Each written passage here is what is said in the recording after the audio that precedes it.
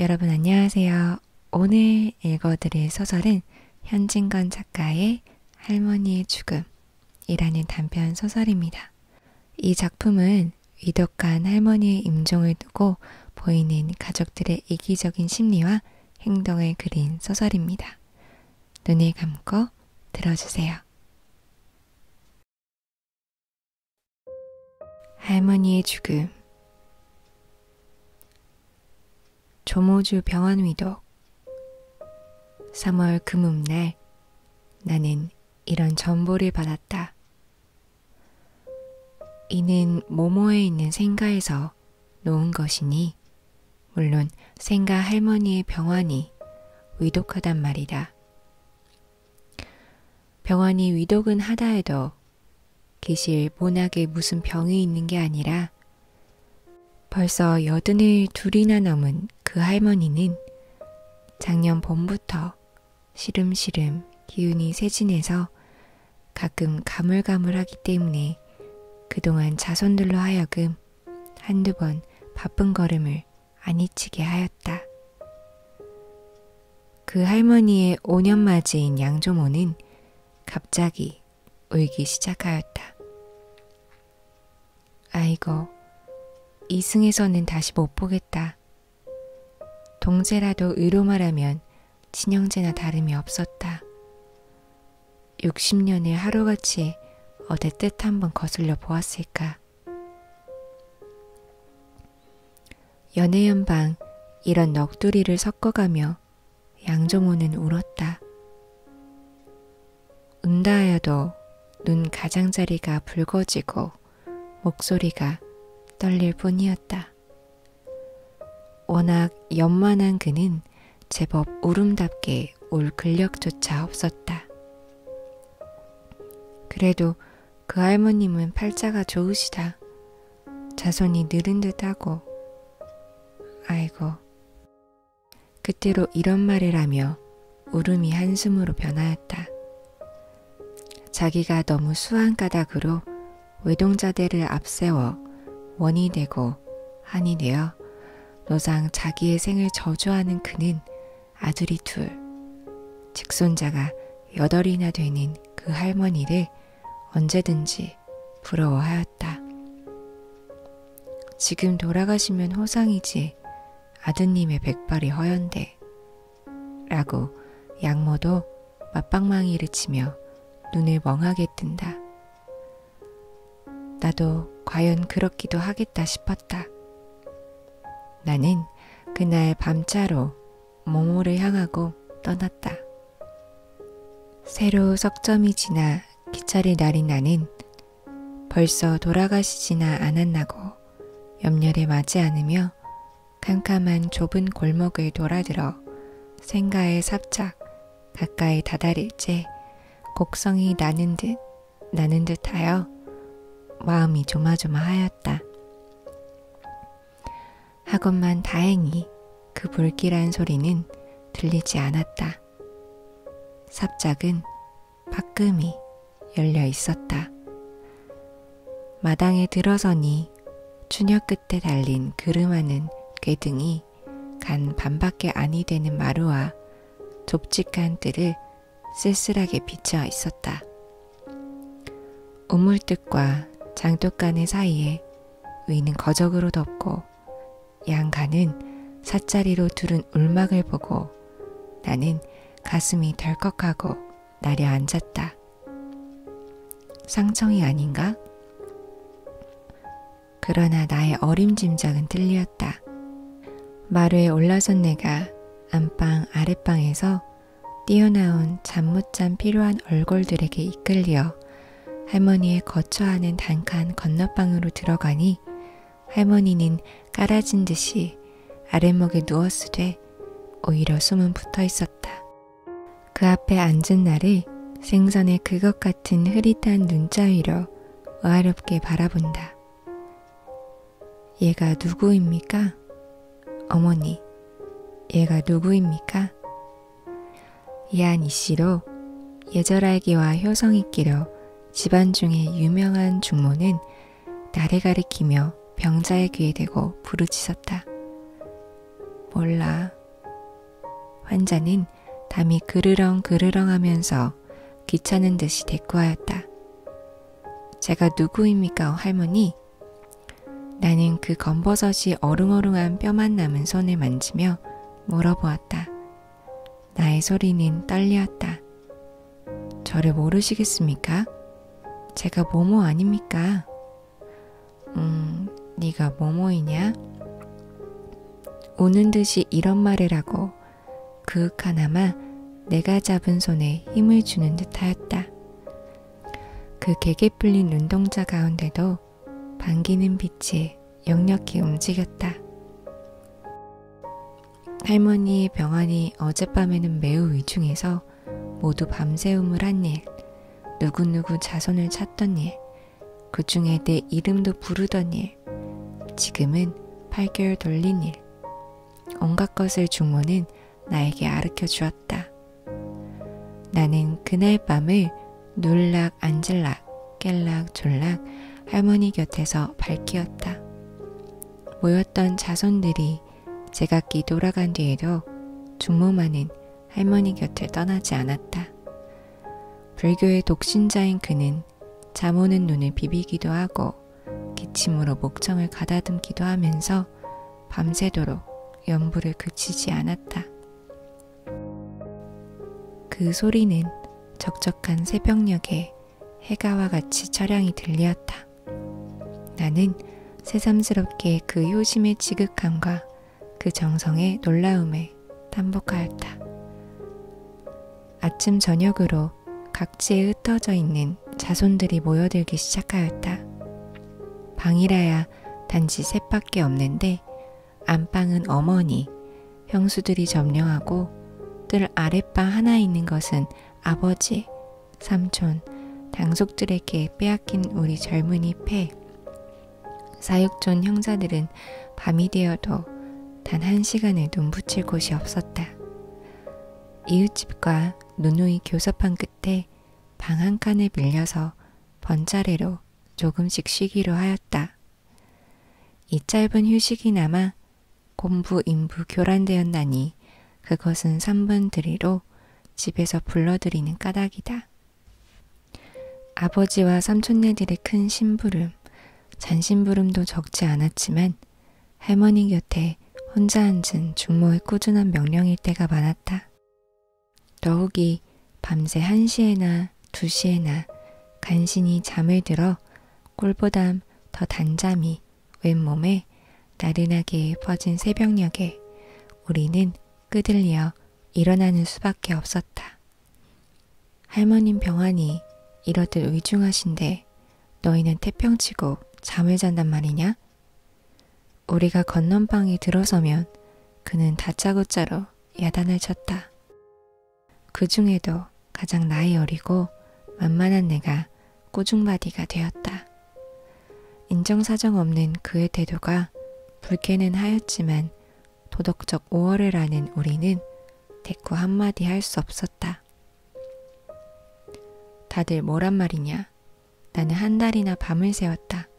며칠들이나 된다고. 졸음 오는 눈을 비비는 우리를 보고 그는 자랑스럽게 또 이런 꾸중도 하였다. 놀라운 효성을 부리는 게 도무지 우리 야단치의 미천을 장만하는 게로구나. 나는 속으로 꿀꺽꿀꺽하며 이런 생각을 하였다. 한 번은 또 그의 명령으로 우리는 건넌방에 모여들었다. 그 방문은 여러 젖이었는데 문지방 위에 할머니의 지팡이가 놓이고 그 밑에 또 신으시던 신이 놓여 있었다. 방안 할머니의 머리맡 벽에는 다란이가 걸리었다. 할머니가 운영을 하시나 보다. 우리는 번개같이 이런 생각을 하며 할머니 곁으로 다가들었다. 그는 담을 그르렁거리며 혼혼히 누워 있었다. 중모는 흐르는 눈물을 걷잡지 못하며 그의 귀에 들이대고 울음소리로 아미타불과 지장보살을 구슬프게 부르짖고 있었다.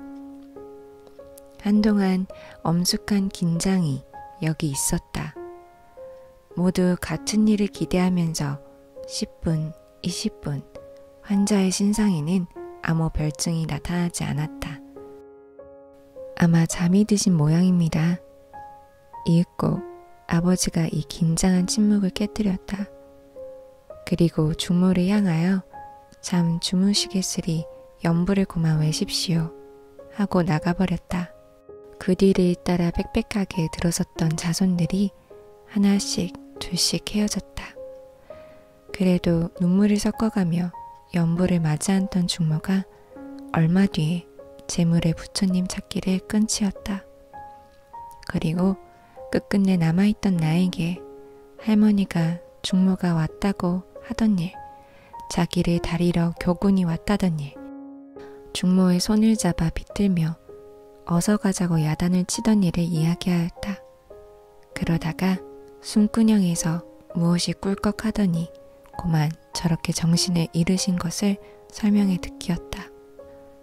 그날 저녁 때에 할머니는 여상이 깨어났었다. 이런 일이 한두 번이 아니었다. 몇 번이나 신과 지팡이가 놓였다 치웠다. 다란이가 벽에 걸렸다 떼었다 하였다. 그러는 동안에 자손의 얼굴은 자꾸자꾸 축이 나가 있었다. 말하기는 안 되었지만 모두 불원 중에 할머니의 하루바삐 끝장나기를 기다리고 있었다. 관조차 맞추어서 7까지 먹여 놓았다. 내가 처음 오던 날 상정이 아닌가고 놀래던 그 을막도 이 관을 놓아두려는 의지간이었다. 그리하건만 할머니는 연애한 모양으로 그물그물하다가 또 정신을 차리었다. 아니, 정신이 돌아오는 때가 도리어 많아간다. 자기 앞에 들어서는 자손들을 거의 틀림없이 알아맞히었다. 그리고 가끔 몸부림을 치면서 일으켜달라고 야단을 쳤다. 이럴 때 중모는 기벽스럽게도 연부를 모셨다. 어머니, 어머니, 가만히 계셔요. 가만히 계셔요. 그는 몸부림하는 할머니를 제지하면서 이렇게 타일렀다. 저를 따라 연부를 외셔요. 나무아미타불, 나무아미타불. 나 일어날란다. 에그, 왜 그러셔요? 가만히 계셔요. 제발 덕분에. 나미아미타불, 나무아미타불. 나무아미타불, 나무아미타불. 할머니는 마지못하여 중물을 따라 두어 번 입술을 달싹달싹 하더니 또 얼굴을 찡그리며 애원하는 어조로 이제 고만 매시고 날 좀 일으켜다오. 내 인제 고만 가련다. 인제 가셔요. 가만히 누워 가시지요. 왜 일어나시긴. 나무아미타불, 왕생극락, 나무아미타불. 할머니는 귀찮아 못 견디겠다는 듯이 팔을 내저으며 듣기 싫다. 연불 소리 듣기 싫다. 이제 고만해라. 하며 몸을 일으키려고 애를 쓴다. 그게 무슨 말씀입니까? 중모는 질색을 하며 더욱 비장하게 부처님을 찾았다. 듣기 싫다. 듣기 싫어. 나는 고만 갈 테야. 할머니는 또 이렇게 재우쳤다. 나는 이 광경을 보고 저기 의외의 감이 있었다. 할머니는 중모보담 못하자는 불교의 독신자다. 몇십 년을 하루같이 새벽마다 만수양을 켜놓고 연불 모시기를 잊지 않은 어른이다. 정신이 혼혼된 뒤에도 염주 담은 상자와 만수양만은 일일이 아랑곳하던 어른이다. 하루도 만수양을 새가 내갑 켜시겠지. 금방 사다 드리면 세 개씩, 네 개씩 당장 다 켜버리시고 또안 사온다고 꼬중이시구나. 작년 가을 내가 귀성하였을 때 계모가 웃으며 할머니의 노망 이야기를 하는 가운데 만수양 커는 것을 그 하나로 헤아렸다. 그리하던 할머니가 왜 지금 와서 연부를 듣기 싫다는가? 그다지 할머니는 일어나고 싶으신가? 죽어가면서도 일어나려는 이 본능 앞에는 모든 것이 권위를 잃는 것인가? 저렇게 일어나시려니 좀 일으켜 드리지요. 나는 보다 못해 이런 말을 하였다. 안 된다. 일으켜 드릴 수가 없다. 하도 저러시길래 한번 일으켜 드렸더니 어떻게 아파하시는지 차마 배울 수가 없었다. 어째 그래요? 나는 이렇게 반문하였다. 이 반문에 대한 중모의 설명은 더욱 놀랄 것이었다. 할머니가 작년 봄부터 맑은 정신을 잃은 결과에 늙은이가 어린애 된다고 뒤를 가리지 않게 되었다. 게다가 이 두어 달 전부터 무엇을 자꾸 청해 잡수시고 옷 내고 윳바닥에 함부로 뒤를 보았다. 그것을 얼른 빨아들이지 못한 때문에 재물에 뭉켜지고 말라붙은 데다가 뜨거운 불목에 대이어 웅둥이 언저리가 모두 벗겨졌다. 그러므로 일어나려면 그곳이 당기고 배기어 아파하는 것이라 한다. 이 말을 들은 나는 할머니를 모로 누이고 그 상처를 보았다. 그 자리는 손바닥 넓이만 지나 빨갛게 단 쇠로 지진 듯이 시꺼멓게 벗겨졌는데 그 위에는 하얀 해가 징그럽게 끼었고 그 가장자리는 도끼를 품고 아른아른이 불을 터올랐다.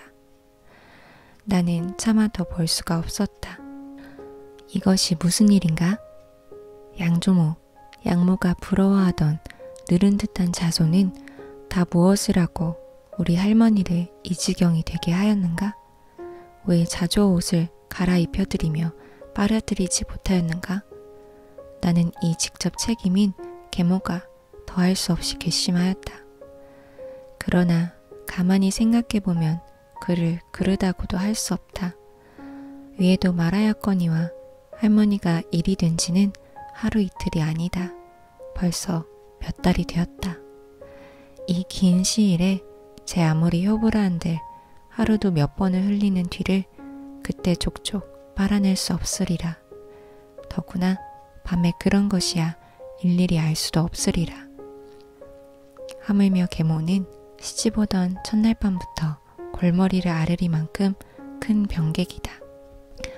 병명은 의원에 따라 혹은 변두머리라고도 하고 혹은 뇌진이라고도 하고 혹은 선천부족이라고도 하였지만 나 하나도 곤쳐주지는 못하였다. 30이 될락말락 하건만 60이나 70이 다 된 노인 모양으로 주야장천 자리 보전하고 누워있는 터이다. 제 몸이 괴로우니 모든 것이 싫은 것이다. 그리고 나까지 아우르면 아버지 스라의 아들만 대신나 되건만은 지금 60노경에 받드는 어느 아들 어느 며느리 하나 없다. 집안이 넉넉지 못한 탓으로 사방에 흩어져서 제이 풀칠하기에 눈코를 못 뜨는 까닭이다. 이 책임을 누구에게 돌릴까? 나는 알 수가 없었다. 쓴 물만 입안에 돌 뿐이었다. 그 후에 또 이런 일이 있었다. 어느 때 내가 할머니 곁에 갔을 적이었다. 할머니는 그 뼈만 남은 손으로 나의 손을 만지고 있었다. 모모야, 모모야. 할머니는 문득 나를 불렀다. 인제는 다시 못 보겠다. 인제는 다시 못 보겠다. 왜 그런 말씀을 하십니까? 인제 내가 안 죽니? 그런데 너 내 청 하나 들어주겠니? 네? 무슨 말씀입니까? 나, 날 좀 일으켜다오. 나는 눈물이 날 듯이 감동하였다. 어찌 차마 이 청을 떼칠 건가? 나는 다짜고짜로 두 손을 할머니 어깨 밑으로 넣으려 하였다. 이것을 본 중모는 깜짝 놀라며 나를 말리었다. 예, 네가 왜 또 그러니? 일으켜드리며 아파하신데도 그 애가 이러네. 그때 약을 사다 드렸으니 그 자리가 인제는 아물었겠지요. 나는 되었단 말을 들은 그날 약 사다 드린 것을 생각하고 이런 말을 하였다. 아니야, 아직 다 낫지 않았어. 오늘 아침에도 일으켜 드렸더니 몹시 아파하시더라. 나는 주춤하였다. 할머니의 앓는 것이 애처로웠습니다. 어머니, 어머니, 가만히 누워 계셔요. 네? 일어나시면 아프십니다. 중모는 또 잔상이 타이르듯 말하였다. 할머니는 물끄러미 나와 중모를 번갈아 보시더니 단념한 듯이 눈을 감았다. 한참 앉아있다가 나는 몸을 일으켰다. 이때 할머니가 눈을 번쩍 뜨며 문득 어디를 가? 라고 물었다. 나는 주춤 발길을 멈추었다. 할머니는 퀭한 눈으로 이윽히 나를 쳐다보시더니 무엇을 잡을 듯이 손을 내저으며 우는 듯한 소리로 서방님, 제발 나를 좀 일으켜 주십시오. 서방님, 제발 나를 좀 일으켜 주십시오. 라고 부르시셨다. 애금문이 그게 무슨 말씀입니까? 그 애가 뭐뭐 아닙니까? 서방님이 무엇이하여? 중모는 바싹 할머니에게 다가들며 애처롭게 아르켜 드렸다. 이때 마침 할머니의 잡수실 배즙을 가지고 들어오던 둘째 형수가 무슨 구경거리나 생긴 듯이 안방을 향하고 외쳤다. 에그 할머니 좀 보아요. 서울 아지버님 더러 서방님, 서방님 하십니다. 이 외침을 듣고 자부와 손부들은 모여들었다. 그들의 눈은 호기심에 번쩍이고 있었다. 나는 또 할머니의 청을 물리칠 수는 없었다. 그것이 어떠한 나쁜 영향을 초치할지라도 아니 일으켜 드릴 수가 없었다. 그러나 할머니는 옆바닥 위로 반짝에 떠나지 못하여 아야 라고 외마디 소리를 쳤다. 나는 얼른 들어오리던 손을 빼는 수밖에 없었다. 다시금 눕기 싫어하던 요 위에 누운 뒤에도 할머니는 알기를 마지 않았다. 나는 적지 아니한 꾸중을 모시었다. 이윽고 조금 진정이 되더니만 또 팔을 내저으며 길을 쓰고 가슴을 덮은 이불자락을 자꾸자꾸 밀어 나리었다.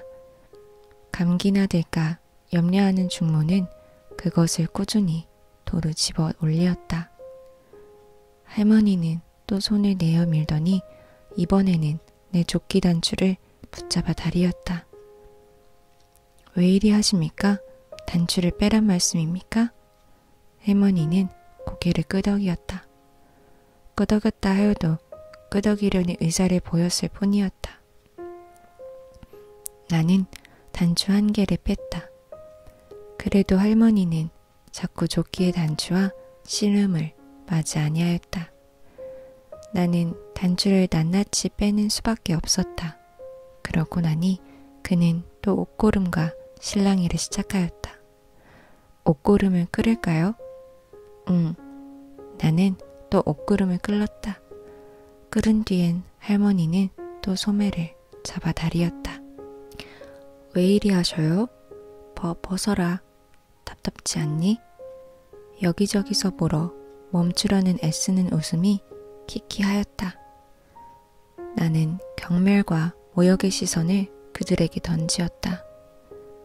자기가 얼마나 답답하고 갑갑하기에 나의 단추 끼운 것과 옷고름 맨 것과 저고리 입은 것조차 답답해 보일 것이랴. 여기는 쓰디 쓴 눈물과 살을 저미는 슬픔이 있어야 하겠거늘 이 기막힌 광경을 조소로 맞아야 오를까? 나는 곧 그들에게 침이라도 베앗고 싶었다. 하되 나의 마음을 냉정하게 살펴본 즉 슬프다. 나에게는 그들을 모욕할 권리가 없었다. 형수들 앞에서 앞가슴을 풀어 젖히려는 할머니가 민망스럽기도 하고 안타깝기도 하였다. 환자를 가엾다 생각하면서도 나의 속 어대인지 웃음이 움직인 것은 부정할 수 없는 사실이었다. 더구나 내가 젊은이 패가 모인 이웃집 방에 들어갔을 때 무슨 자미스러운 일이나 보고 온 사람 모양으로 득의 양양이 이 이야기를 하고서 허리를 분질렀다. 거기에서는 할머니의 병세에 대하여 의론이 분분하였다. 그들은 하나도 한가한 이가 없었다. 혹은 변호사, 혹은 은행원, 혹은 회사원으로 다 무한년하고 있을 수 없는 형편이었다. 나는 암만 해도 내일은 좀 가보아야 되겠는데 나는 그 전보를 보고 벌써 돌아가신 줄 알았어. 올때 친구들이 북폰이 뭐니 부위를 주길래 아직 돌아가시지도 않았는데 이게 웬일이냐 하니까 그 사람들 말이 돌아가셔도 자손들에겐 그렇게 전보를 놓느니 하대그려. 그래, 모두 받아왔는데. 허허허. 그 중에 제 연장자로 쾌활하고 말 잘하는 백형은 웃음 섞어 이런 말을 하고 있었다. 암만 해도 오늘 내일 돌아가실 것 같지는 않은데 이거 큰일 났는 걸 가는 수도 없고 나는 곧 돌아가실 것 같지는 않아. 은행원으로 있는 육촌은 이렇게 마방망이를 쳤다. 의사를 불러서 진단을 해보는 것이 어떨까요? 부산 방직회사에 다니는 사촌이 이런 제의를 하였다. 옳지. 참 그래 보아야 되겠군. 아버지께 이 사연을 아뢰었다. 시방, 그물그물 하시지 않나? 그러면 하여간 의원을 좀 불러올까? 의원은 아버지와 절친한 김주부를 청해오기로 하였다. 갓을 쓴 그 의원은 얼마 아니 되어 미륵 같은 몸뚱아리를 환자방에 나타내었다. 매우 정신을 모으는 듯이 눈을 나리 감고 한나절이나 진맥을 하더니 고개를 절레절레 흔들며 물러앉는다. 매우 말씀하기 안 되었소마는 아마 오늘 밤 아니면 내일을 못 넘길 것 같소. 매우 말하기 어려운 듯이 기실 조금 더 말하기 어렵지 않은 듯이 그 요원은 최후의 판결을 언도하였다. 글쎄 그래 워낙 노쇠하셔서 오래 부지를 하실 수 없지. 그러면 그렇지 않은 얼굴로 아버지는 맞방이를 쳤다. 가려던 자손은 또 붙잡히었다. 그러나 할머니는 그날 저녁부터 한결 돌리었다. 가끔 잡수실 것을 찾기도 하였다. 잡수는 건 축하여야 배즙, 국물에만 한 술도 안 되는 진지였다. 죽과 미음은 입에 대기도 싫어하였다. 그리고 전일에 발라드린 양약이 효험이 나서 상처가 아물었던지 자부와 손부에게 부축되어 꽤 오래 일어나 앉아 있게도 되었다. 그 이튿날이 무사히 지나가자 한이의 무지를 비소하고 다른 것은 몰라도 환자의 수명이 어느 때까지 계속될 시간 아는데 들어서는 양해가 나으리란 우리 젊은 빼의 주장에 의하여 모모 의원 원장으로 있는 천엽 의학사를 불러오게 되었다. 그는 진찰한 결과에 다른 증세만 겹치지 않으면 2, 3주일은 무료하리라 하였다. 그래, 그저 그럴 거야. 아직 괜찮으신데 백주에 서들고 야단을 하였지. 하고 일이 바쁜 백형은 그날 밤으로 떠나갔다. 그 이튿날 아침이었다. 우리가 집에 돌아오니까 할머니 곁을 떠난 적 없던 중모가 마당에서 한가롭게 할머니의 뒤흘린 바지를 빨고 있다가 웃는 낯으로 우리를 맞으며 할머님이 오늘 아침에는 혼자 일어나셨다. 시방 진지를 잡수시고 계시다. 어서 들어가 보아라. 나는 뛰어들어갔다. 자부와 손부의 신기해 여기는 시선을 받으면서 할머니는 정말 진지를 잡수고 있었다.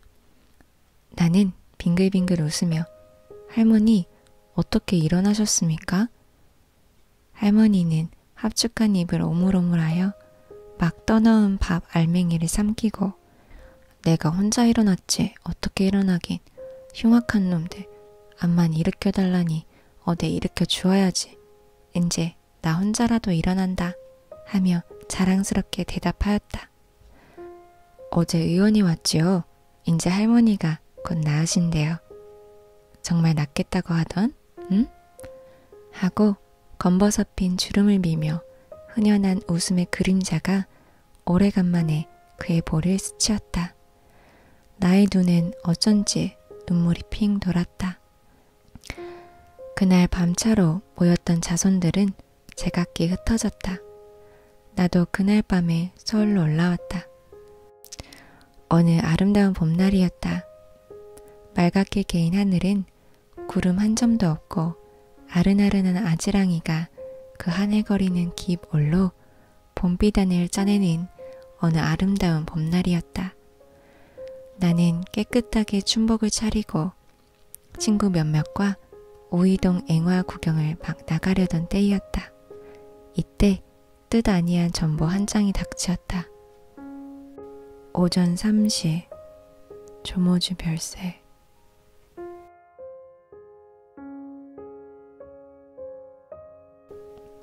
여러분 구독과 좋아요, 알림 설정까지 눌러주세요. 감사합니다.